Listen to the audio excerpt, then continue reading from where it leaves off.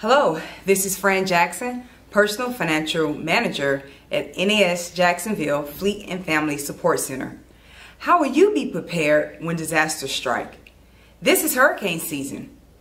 And this natural disaster can not only cause damages to your personal property, but it can also damage your personal finances as well.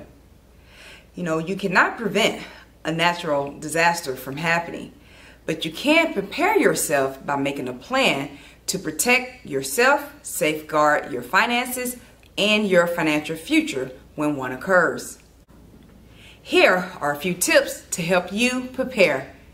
Tip 1. Download the American Red Cross app for safety tips.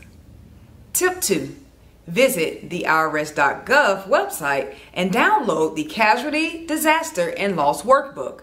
This workbook will help you create a record of what you own before a disaster hits. And the last tip is to download the FEMA Emergency First Aid Kit. Once complete, store it in a safe place.